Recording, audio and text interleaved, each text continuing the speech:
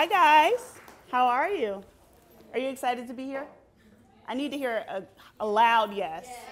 Because I came from Chicago. I need y'all to be excited to be here, okay? um, we're just getting the presentation started, but the theme of this entire sort of segment, this keynote, is boss up. And what does that mean? That means to be forthright, forthcoming, to actually take that initiative, that next step in your career. So throughout this entire keynote speech, throughout this segment, I'm going to give you guys tips, tricks, and different um, advice from my perspective on how to make it to that level. So this is an open forum. I don't want you guys to think that I'm a professor. I'm not. I'm not a teacher. I've actually been in your place in some way, shape, or form. So please, please, please, at the end of this, ask me any question you want. No question is a bad question or a horrible question. I'll gladly answer it with my honest opinion, honestly. So without further ado, okay, great. So, oh, great. Hello? Can you guys hear me now? Yeah. Sorry. Great. Is that okay? Is that okay for you guys? Cool.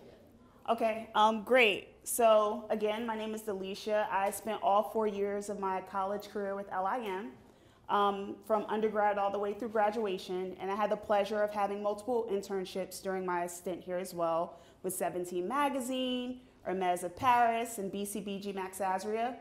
Thereafter, after my graduation, I had the likes of working with and publishing with GQ Magazine, Men's Health, and now most recently Live Nation. So I have about a six to seven year sort of career in marketing and events. I've always wanted to do marketing and events. That's always been a passion point of mine. But honestly, when I first started, I thought I wanted to be a stylist. But then I realized there's number crunching in that, and I thought, no, that's not for me. So let's like carry on with that.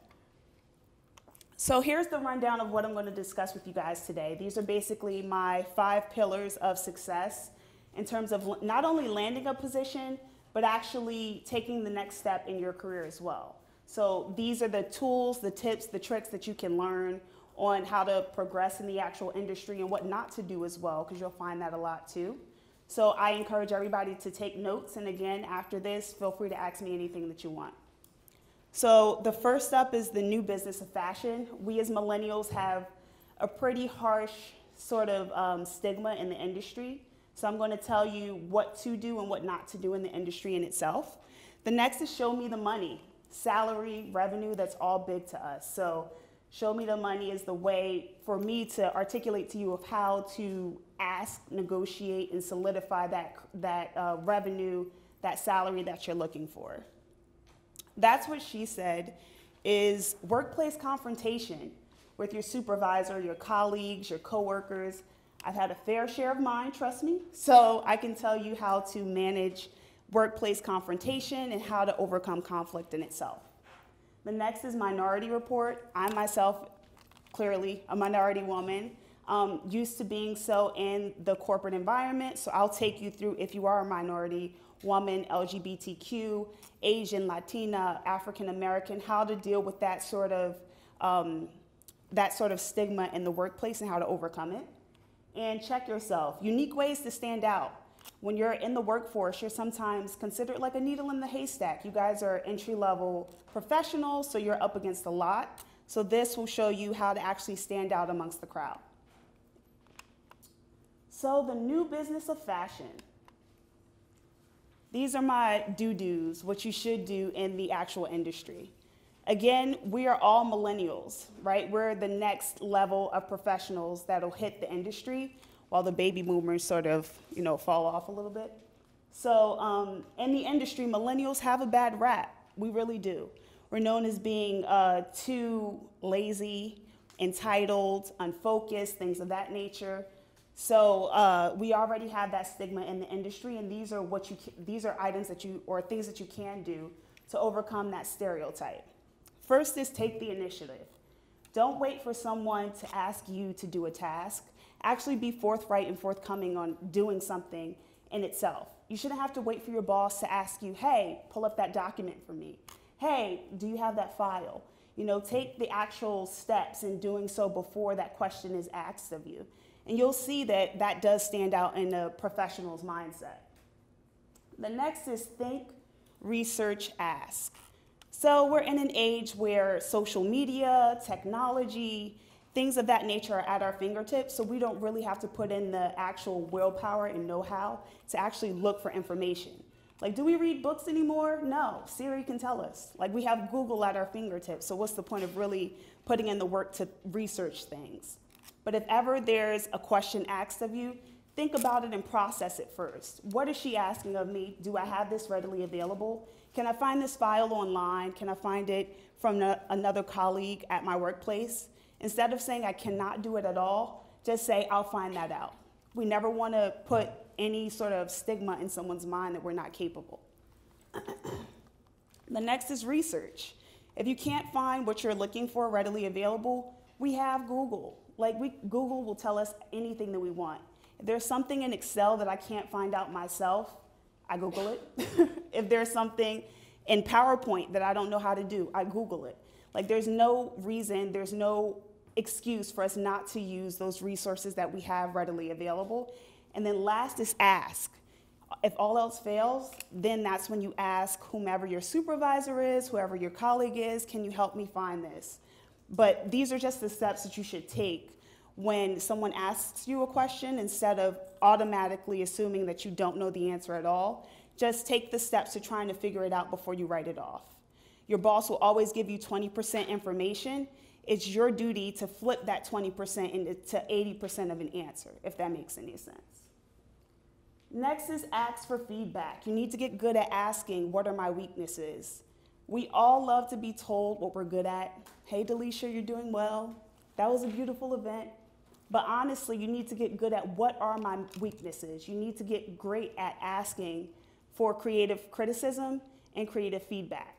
Sometimes getting negative feedback sometimes can come across as you're doing something wrong, you're not good enough. Trust me, I felt like that myself in the industry as well. But think about it this way it takes someone more energy to tell you what you're doing wrong than it does for them to tell you that you're doing okay. Because if they're telling you to your face that you're doing okay when you're not, best believe they're talking about you behind your back. So you'd rather them tell you up front, right? So that you can correct the process. And I'll give you a good example of that. During Fashion Week, we had a new employee. We'll call her Molly. Molly came dressed with spaghetti strap, black dress, very short, so if she bent over, you could see her stuff fall out. And no one told her what the dress code was. So she's walking around Fashion Week thinking she's doing it, thinking she's hot, and she wasn't. So no one told her that she was dressed inappropriately. No one. And as soon as she left the room, everyone talked about her, heckled her. It's the fashion industry, so you'll get that sometimes.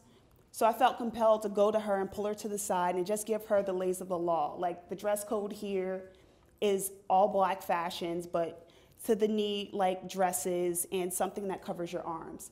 And she was so distraught. Like she couldn't believe that people thought of thought of her like that. She couldn't believe that nobody told her. She couldn't believe that somebody thought negatively of her and this was her first week on the job. So again, it's better to hear that negative feedback up front and fix it versus getting a slap on the uh, a pat on the back for an okay. So learn from any negative feedback that you do that does come your way. Next is getting in writing. And I am, I live by this. So if, if ever you're handling a business meeting, you have a conference call, get everything that's said to you in writing, which means that if ever you have an agreement, if ever you confirm an event plan, next steps, you want to get anything that was promised in writing so that you have a paper trail of what was said. You'll find in the industry that people get forgetful, some people will say, I never heard that, you never told me that, those things were never discussed, which is why you want it in writing. You want your receipts, right? You want it in writing to let them know that this was talked about. So if ever you're with in partnership with a vendor, make a contract. If ever you have a conference call, always do a follow-up status report of what was discussed on that call, sending it to everyone that was in that was on that meeting, just to have a paper trail of what was discussed so that you can always go back to it if you're backed in the corner. Trust me, that'll come up a lot. Next is own your own craft. We in our own right have things that we're passionate about, that we love, that we're interested in. but we always have to remember that everyone, everyone in this room, learning is limitless. Learn, learning is ageless. You'll continue to learn until the day you rest, right? Like Oprah, for example. Oprah made a good point that she loves surrounding herself with young creatives that gives her that fuels her creativity herself, that gives her ideas for new business ventures and new outlets. Shonda Rhimes, the creator of How to Get Away with Murder and um, Grey's Anatomy, she also surrounds herself with new, fresh talent for new, uh, different types of shows and different storylines. So you see these mega million tycoons, these media tycoons, they're always learning, they're always evolving. Never get complacent in your expertise because when you do that, that's when you that'll lead to failure. And last is work-life balance. Now, when I was working during Fashion Week at IMG, I go into the office at 9 a.m. and wouldn't leave until midnight most of the times, working on fashion shows. But you need to remember that you have to take time for yourself. As much, as much energy you put into your work life, you have to do into your mind, your body, and your spirit because that'll fuel your energy and your creativity as well. So if you have to go off for 30 minutes and take a lunch break, if you have to go to that yoga class at 6 p.m., do so. And that's okay. That's okay to take a little time for yourself. It's okay to step away and just take time for yourself. And I understand that we'll have projects with deadlines, but you have to equally put time into your own mental stability as you do into your actual career. And now is the don'ts. So I have a really good uh, testimony about this and working with millennials and how we have the bad stigma. I used to work with a junior associate. We'll call her Sarah. so Sarah had a reputation around the office for playing Candy Crush every day. I kid you not. She played Candy Crush all the time. She shopped online for clothing. She barely did any work, or in between her projects, she would take her leisure time to shop online. And a couple months later, the company was giving layoffs. And uh, Sarah's job was one of those that got cut. She made it known around the office that she was not happy. She told her supervisor, who was her boss, she told her colleagues, her coworkers, such as me, that she was not happy at all. She was not excited that she got laid off. She can't believe it. She doesn't know why these other girls are working here, so on and so forth. Cut to a couple weeks later, Sarah had two interviews with Marie Claire and with Elle magazine, two top fashion books in the world. She got to the point where she needed professional references, right? And she listed her professional references as her boss, who she was complaining to, and one of her supervisors, her colleagues who worked in the office with us. And of course, her professional references mentioned how unprofessional she is, how she's not put together, how she doesn't take initiative, she isn't proactive, and lo and behold, she didn't get either job with Marie Claire or Elle. Like, this is a true story. I'm not making it up. So. So that's an example of you need to just articulate yourself in a certain fashion in the workplace in itself. One, no, no phone zone, no cell phones. Like I know we're all addicted to them. Some of us right now, I see y'all. So, so I know we're addicted to our cell phones, but studies show that we have an endorphin in our brains that if ever we get a text message or a social media alert, we automatically get a spark of happiness in our brains. So if ever we get a message, we automatically have to jump on top of it. We have to see it. We have to read it. And um, that distraction can cause distraction in the workplace. I'm, trust me, I am, uh, I follow that myself. Like I can answer emails at my desk, but I have my phone next, next to me, and as soon as my boyfriend texts, I'm like all over it, right? But if you really want to make a name for yourself in a position, and especially if you're entry level, you want to put your phone away for at least an hour or two to really get your job done. I do it all the time, I'm still trying to talk myself through it, but it'll definitely help down the long run. Tardy for the party, which is basically how it's read. It's like you want to be on time. At LIM, they tell you if you're on time, you're late. And if you're late, you're on time. I know you, you guys have heard that a lot before, and it still rings true. If you're a part of a meeting, if you're spearheading a meeting, There's no reason why you should be late to that meeting. I see it happen every day. If you're supposed to be somewhere across town or in a different building and you're running late or you're behind or you call into a meeting late, that's not acceptable because you are new and young professionals and you're supposed to be making a specific name for yourself. So you have to be on your P's and Q's as much as you can. Overshare. Going back to Sarah, she was the queen of oversharing. Like she told us when she was hungover the day before, who she slept with the day before that. It's like she, she always had a story for everything.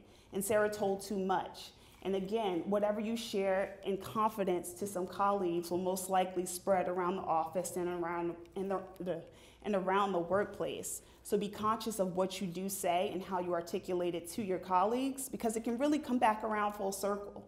Sarah thought she could say whatever and do whatever, but we see how that came around to bite her in the end, right? And then the big ego, which us as millennials sometimes get a little jaded. We feel like we have expertise in a certain field and that we know it all, right? Like I'm a stylist, I styled a couple of C-list celebrities and I'm big, right? Or I did a couple of events here, six years and I'm that, right? But we should never let our ego or our expertise overshadow um, where we're trying to go. Again, there's always room for learning, right? So you can never think that you're too big for your britches, that uh, any job is too, too small for you. I don't want to staple those papers. I'm not an intern, right? I don't want to do that ex expense report. I'm not an assistant. No, there's no job that's too small for you. The senior vice president of Live Nation, who works directly with me, she's in the trenches with me at events, unpacking boxes, putting, um, putting menus and picture frames and things of that nature. There's no job that's too small for her. There's damn sure no job too small for us. The SVP of the company makes a hell of a lot more than I do, and she's out there with me as well in the trenches. The next is underestimate your opportunities. And this is what I live by. If any of you guys have ever heard me talk here at LIM, you know this is something that I swear by. My first job out of college was, it was at Prevention Magazine and I'm sure most of you don't know what that is. You can find it at the checkout counter in your grocery store. Like prevention is for how 75 year old woman can get, get their groove back. Like it's not something you're trying to read on a daily basis. So um, I was the marketing and events coordinator. And at, in that position, I traveled to San Diego, to Aspen, Colorado. I went to Philadelphia to plan a cocktail party. Like they actively let me travel with them to plan events marathons, dinners, galas, things of that nature. And I would have never thought so before. Now, I've worked with luxury companies in the past. Nothing, no experience was as great and as fulfilling as that was. And I really think that was a great foundation for me to go off into other opportunities. Like, you never know what that undesirable moment or that undesirable position will get you. Like, never underestimate what's given to you. because a position at that local paper can be more lucrative than being at, let's say, Tommy Hilfiger as an assistant. You never know what opportunities can come to you. So please don't ever underestimate what does come to you because it's happening for a reason. And the last is too codependent. and this goes back to um, the think, research, ask, right? You want to be self sufficient. Self-sufficiency is key, but and think that you can do what you can on your own and don't try to rely too much on your colleagues and coworkers to get you to the next step and to get you to the next level. See, Sarah, the key person in all of my stories, she was she was a, she did that a lot herself, you know? She couldn't find a printer. Do you know where the printer is? It's actually around the corner. What's the Wi-Fi? Well, if you click the Wi-Fi button, they'll tell you. Like Like, you know, just be a little more self sufficient, and that'll really take you a long way. So, now that we've talked about how to articulate yourself within the workplace, we get to the good stuff. I hear the pages turning. Now, everybody's really taking notes. I get it. Now, we get to show me the money, how to negotiate salary, how to negotiate the pay rate that you're looking for, and things of that nature. So, whenever you negotiate salary, you have to keep in mind that you cannot act with fear. If salary negotiations, it's never something that's comfortable. It's always an uncomfortable moment. Even till this day, whenever I go to a new position and I have to negotiate salary, my hands get clammy, my heart starts to like pitter patter because I'm nervous. I really want it, right? And I don't want to ask for something that's too unreasonable. But you have to remember that at the bottom line, it's, it's your career, right? You're, you are your own brand. So you have to be confident in whatever you're asking for. And believe it or not, 50%, 57% of women do not ask for a raise at all. 57 of women, that's crazy. And only 29% of job seekers ask for a negotiated salary, only 29. That means the remaining job seekers are too afraid, like the rest of us, to really be upfront and ask what we're looking for, right? A lot of us are entry level positions, so we, we just want a job. So we'll take whatever they give us. But when, when you're going to that next level, that manager level, that coordinator, so on and so forth, you have to realize what's out there, what's in the market, what's competitive, and how that applies to you. The first one is come prepared. So with, whenever you try to negotiate a salary, you have to come prepared with your sales pitch. That's what the interview process is in whole.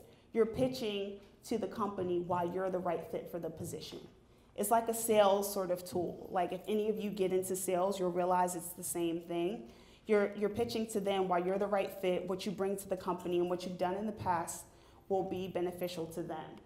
So come prepared with that pitch and with those reasonings. You have to come with an outline of what you bring to the table. What have you done in the past? Have you raised more revenue than the year before? Have you brought on new clients that you can bring to this new company? What are those ins and outs that are unique about you that you can bring to this new company you're applying for?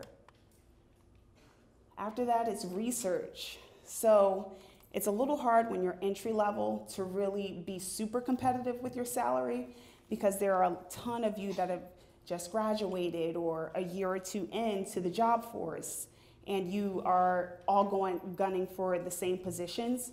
So realistically, they'll take anything, anything. But you need to research what's out on the market. So don't go in as a first-time assistant looking to make $100,000 your first year. We would all love that, trust me, because I would too. But realistically, we can't make that, you know, in the first run. So you, you should look at job sites like Indeed, LinkedIn Premium, which if you sign up for the premium version of LinkedIn, you can do it for free for like 30 days. I need to do a new one.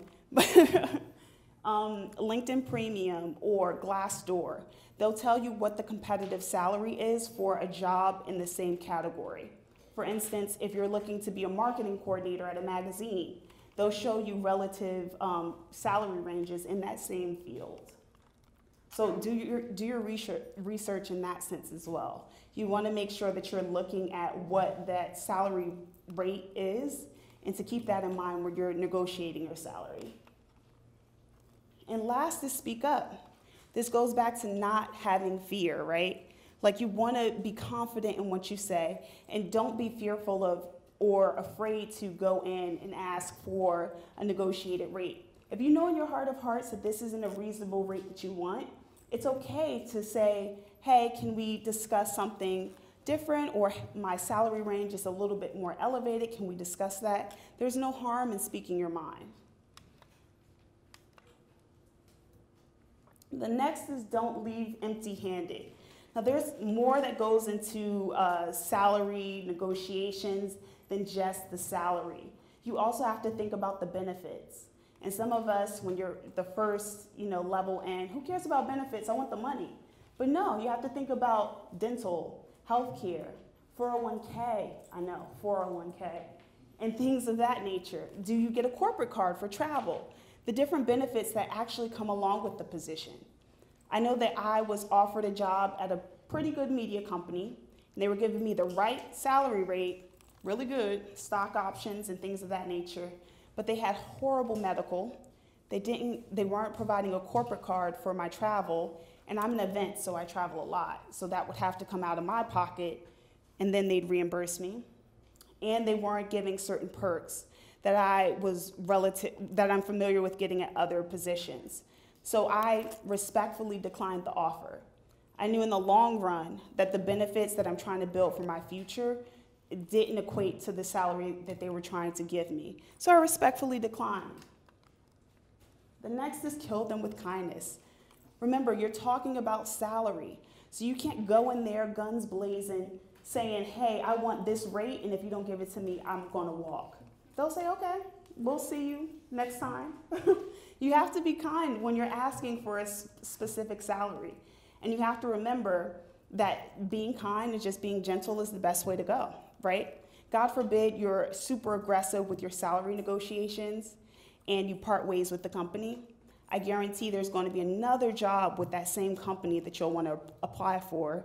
And the HR manager, the recruiter, your um, future boss will remember that you were super aggressive in your negotiations. And believe it or not, the fashion industry isn't super huge. There are a lot of people that talk, a lot of people that have worked in the same companies, so that gets back around. So just be just be careful about your word choice when you are talking to some of these companies and these talent managers. And last is don't be afraid to walk away. So you'll find a time that you probably won't meet or come into the come at a, a certain agreement on the salary that you expected. Maybe the benefits aren't what you thought they would be, and it's okay. If they don't if they're not bringing to the table what you're looking for reasonably thinking it's okay to walk away. Again respectfully walk away. You can say i respectfully decline that offer or at this time i'm, I'm sorry but those you know expectations or requirements don't meet um, where i'm trying to go in the next steps of my career. It's okay to be again respectful with declining an, an offer. It won't bite you in the butt to respectfully decline something now that we've briefly talked about salary, and I'm sure I'll get questions about that later, we'll go into um, workplace confrontation. Now, again, you'll find this a couple of times. Sometimes you'll have a colleague or a coworker that you might not get along with, that you had a dispute with, or maybe just even miscommunication. But I'll give you some tips on how to articulate yourself in those situations and what to expect in the ex- exchange and you know how to combat that confrontation. So you'll find yourself in three scenarios. Scenarios. I found myself in all three, probably four or five times. So you'll have uh, uh, mis- uh, disagreements with colleagues, so it's coworkers, or uh, a superior, so an executive, your boss, maybe somebody in the department or in a coinciding department, that's an executive. And last is a client. So um, any vendors or uh, say like a caterer or uh, a creative like a, a photo booth guy or a producer that you'll have just a minor dispute with. And these are ways that you can sort of handle the situation. One is recognize the problem. I had a, a boss in itself that she passive aggressively would say things to me in front of my colleagues. And she did it one time in a meeting, and I let it go. I'm like, okay, maybe it's just me. She did it another time one on one when it was just her and I. And then she did it for a third time in front of a big corporate meeting a, with about 20 people. And at that point, I felt belittled. So at that point, I realized okay, there's a problem here that I really have to face. Next is react with facts. We never want to react off of emotion. Now, trust me, I'm sure you will be in a situation where you think, if we were outside, it would be a different story, but I'm at work, so I need to chill, right? so you, you have to, don't react on emotion. You have to react intelligently and make sure that you have reasoning to back your argument. Because when you're trying to diffuse any sort of confrontation, you're going to find that people get defensive, right? Even us. Like if you're telling me something negative about me, I'm automatically going to get defensive and say, What are you talking about? That never happened. So you need to have, again, your receipts to back up why you feel um, the way that you do. Next is uh, three is acknowledge. So you have to acknowledge that there is a problem. I'm not saying sweep it un- under the rug. There's no problem with um, dispelling any sort of confrontation. A lot of people don't like confrontation, and that's fine. But we as adults can handle it and articulate ourselves in a professional way. So acknowledge that there is a problem. So it's okay to pick your battles wisely, right? If it's a minor thing, again, in the beginning, my boss passive aggressively said something to me one time and I dispelled it. But after the third time, I knew that there was a greater issue. If it's something that's consistent and something that's weighing heavy on your heart, it's okay to bring it up and just to fuse the situation. And the fourth is resolve. So at this point, you want to resolve the confrontation. So with my boss specifically, I said, Can I take some time to meet with you? I put time on her calendar. I took her out for coffee. You want to get away from the crime scene. You don't want to sit, you don't want to be there and actually talk out your differences. Took her out for coffee and let her know I'm having, I felt a little uh, uncomfortable in our last meeting.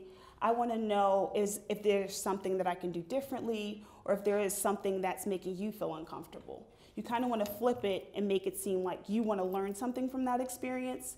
That's a professional way of handle, handling any conflict. It's sort of a reverse psychology thing. I don't want to trick you guys, but it is. you want them to think that you're you have something to learn in the process and you want to make uh, the work environment easier for them. And that's a really great way to introduce or dispel or just to uh, come up, come into com- come um, interact with actual confrontation in itself. And then the last is to move forward. You're going to have the conversation then. Hey, I felt uncomfortable in that situation. Is there anything that I can do to make this environment a little bit more comfortable? Is there anything that I said that made you uncomfortable? You're going to have some sort of back and forth interaction about that. And you might agree to disagree, but whatever. It's then how do you move forward from that? What can you do for yourself to make th- those future situations better? Maybe you can say something different, do something different, or in the industry, they, they say not to take it personal again. Um, so it's whatever tips and tricks you can do to make the environment comfortable for the both of you or for all parties. Now that you've learned how to handle confrontation, let's talk about the really good good. I hear more pages turning. let's talk about the minority report. So again, I'm a minority in a major corporation, right? And um, for all of us that have worked with or are minorities, you'll find yourself in uh, situations where you need to want to work in a more diverse environment. They say that companies that have more diverse environments are 45% more successful. So diversity is key. It's different personalities, different people, different techniques that actually fuel creativity. So there's nothing wrong with that. But for some of us that are minorities in, ourself, in itself, it makes us sometimes feel uncomfortable. Like, how do we handle those situations? How do we integrate ourselves in, into those environments? Now, it's 83, the workforce of professional managers, professionals in related fields were made up by 83% of Caucasians. 83% of the industry was made up by um, Caucasian workers, which is completely fine. But that just shows we have a long way to go in terms of diversity and making more diverse environments. that was in 2010. Cut to today, there's minorities make up about 32% of the workforce. That's inclusive of Latinos, African Americans, and Asians. 32%. That's insane. So, for those of us that do work in um, a less diverse environment or those of us that will potentially hire some more diverse candidates, these are some ways that you can handle the situation. First is hiring and promotion. If you guys ever come encounter with um, someone of a diverse background or field, be open-minded about integrating them into your company and into your onto your team. That goes for entry-level positions. That goes for interns. That goes for upper-level management be open to different sort of fields and backgrounds that you're hiring for. And that's not only just for the actual position entry level, but that's also for management positions and promotions as well. The next is organizations and policies. Think about creating specific organizations that do cater to different diverse backgrounds. At Live Nation, we have BEN, Black um, Employees Network. We also have WIN, which is Women's Employees Network, and we have Kids Nation for the kids. So, so think about creating specific groups and organizations for your likes, like build with your likes, and that's okay. That's, those are great ways to actually make different diverse backgrounds feel like they have people that they can relate to and that they can actually um, feel integrated within the company in itself. At Ben, the Black Employee Network, we actually have different networking events, different events, um, different nonprofit sort of um, fundraisers that we put together, and we're building with the small group of black employees that we do have within the company and creating different um, regulations and rules to grow into the future. So that's what I like about the company that I work for now. They're open to diversity and really integrating different cultural groups into the actual organization. Next is policies. Don't be afraid to um, cater to and recognize specific holidays for different backgrounds as well. If there are Latino cultural um, holidays, if there's um, Black or Asian holidays as well, don't be afraid to recognize those. We recognize Christmas, we recognize Halloween, right? So let's recognize the other cultural um, heritage months and days within the calendar year as well that'll make us feel more included. And last is uh, handle with care. So diversity as a whole, today, now more than ever, is a very, very touchy topic. One, it's something that we do need to talk about, but two, we need to be careful with how we actually touch base on it. Because it's very easy to fall into um, stereotypes and certain colloquialisms of different nationalities, so we need to be very careful with how we handle those specific topics. And this is for people that are going to hire and promote in the workplace. And these are great tips on how you can handle diverse groups and new employees that are coming into the work field. Now, if you're an actual minority being in the work field, here are some uh, different things that you have to keep in mind yourself. One is bust the myths, the myths and misconceptions. Me specifically, I'm used to being the only black woman on a team of 20 or 30. That's just the nature of the game for me, and that's been everywhere that I've worked. And I come across frequent misconceptions of being angry or, uh, you know, the slang like, hey girl, yes, yeah, all of that. I get that a lot, right?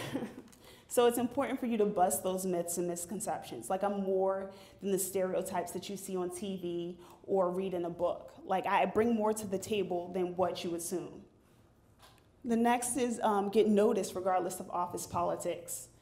In corporate America, you frequently find cliques, groups, your boss will have his or her favorites. You frequently find those specific sort of crowds. I don't like to call it the mean girl sort of syndrome, but it's sort of um, like high school in a sense that people have certain people that they gravitate to naturally, and um, your boss and or colleagues will have their favorite people that they connect with. That's fine. But it's up to you to show your, your employees and your coworkers why you're great, why you're great in that position that you're in. Sometimes, because we're of a different race, we automatically segregate ourselves. We want to be with just groups that are just like us. But you need to show those that you work with, that diverse crowd, why you're right for the position that you're in. Whether it's from your work ethic, from your socialization. It's okay to socialize, be a little bit more outgoing. I know for me, when I was in the workforce, because I was one of my kind, I kind of closed up and shelled up. Like I, I didn't know what to say or how to articulate myself or how to even connect with someone that was outside of my race. So that automatically made me insecure. But it's okay to be open and to actually uh, connect with different people on different levels. Go out for a happy hour, right? Have a team luncheon. Do different things to actually connect with them and bust some of those stereotypes that they automatically have about your specific race. And the last is find a mentor. I think it's important to find a mentor that's of your race that actually has gone through what you have gone through as well, honestly. My mentor is my first boss. Her name is Siobhan Rains. She is now the event director at Pop Sugar. And um, she actually gave me my start. And she knows how it is through and through. She's a Harvard graduate, a very successful black woman So I look to her as sort of like the blueprint of how I should articulate myself in the workforce and how I can propel my career as well. So these are just three minor tips on how you can maneuver in the industry in itself. And of course, there are more. There's more information and more things that you can learn from. But these are just three little um, nibbles or, or three snackable examples of, on how you can actually excel in the workforce as a minority in itself. Last but not least is check yourself. So again, we're in this what seems like a really big industry. So I'm going to give you tips on how you can stand out amongst the crowd, right? You're going, you guys are all going for possibly the same positions, so it's easy to become a needle in a haystack. The first is keep it punctual. And this goes back to what I mentioned before about being on time, not tardy for the party. So you really want to cross your T's and dot your I's with whatever you do. Like me, I'm notorious for following up on conversations or meetings with emails. If you go on an interview, follow up with a thank you email no later than one day after, articulating how you enjoyed meeting that hiring manager or that potential employer and saying how you appreciated them. If you're having a phone conversation with a vendor or whomever, making sure you follow up on those items. If you have a specific deadline for a project, staying on top of that project. If you know you're going to be running late on that deadline, articulating to your supervisor, hey, I'm running a little bit behind. Making sure you communicate through and through what you're doing and how you're doing so that they're all they know that you're on top of it. The next is support your team, you know? If you have an open window and you're not doing anything during the day, ask your teammate, is there something I can do to help you? Are you swamped? Is there anything that I can take off your plate? You want to be a team player. You want to show your team that, hey, I'm here to support you. We're a part of a team. There's no I in team, right? We're a part of a team for a specific reason. So, what can I do to actually help you in this day? And if they don't have anything immediately, it's okay to take something off of their plate. Again, going back to being proactive, right? It's okay to actually take the initiative, again, in um, doing something to help those around you. Next is say it. So don't sit silent in meetings. I did this early on in my career. I was afraid to speak up. I had really great ideas, and I would shoot myself when somebody would say the same idea I had in my head before I could, right? But they say that closed mouths don't get fed, right? So you have to, don't be afraid to speak your mind. Don't be afraid to voice a creative idea. Don't be afraid to ask a question because I guarantee someone else is thinking exactly what you are. And that also shows your employer or your boss that you're actually thinking about it, right? You're keeping it in mind. You're always keeping your wheels turning and you want to you want to contribute something to the actual company in itself. So I don't think something like that can hurt you. Just being on top of things, asking questions, voicing your opinions, your ideas. You're actually showing that you want to be a part of the actual team in itself. Next is be in it for the long run. Now, I was infamous for staying at a company for like a year and then I'm out, right? like, time to go. Where's the next place that'll pay me more? But you want to be in it for the long run. My boss has been with Live Nation for 15 years. 15 years. Like to me, that's like ancient. Like, like that's a long time. But she's been there for so long, and look at her now. She's the SVP of the company at un- under 40 no, over 40, that would be crazy. Um, uh, over 40, and some people don't see a title like that under 50 or over 50, if you will. So it's okay to stay with the company for longer than I'd say at least two years. That way, you really actually soak up the knowledge of the position that you're in if you're in a coordinator position or an assistant or a manager, you actually really know the ins and outs of that role and you can really take those tools to the next position that you do go to. So don't be in a rush to just bounce from place to place. It's okay to settle in and to really soak up the knowledge of the brand, of the history, of the heritage of the company that you're working for, because that'll only help you in the future. And the last is build with new players. It's okay to interconnect with different departments. I'm in marketing, right? So I naturally liaise with the creative department, the legal team, accounting, because I need things paid and things of those nature. But it's okay to interact with different departments outside of your realm. Like, I don't know anyone in ticketing, right? Or any of the stage production guys, the guys that actually put the stages together. And it's okay to rub shoulders with them. You never know where that communication, that connection, what, where those conversations will take you down the long run. Hey, I can talk to the stage production guy today. We can grow a good rapport at the company. Five years down the line, he may know someone at a different company that I, that you know could be a good shoo in that can get me a job, or he may know someone at a different company that can get my friend a position. So you never know where that networking internally will take you. So don't be opposed to actually talking to, speaking with, building with different people within the company that you work for outside of your immediate team. And that's it, y'all.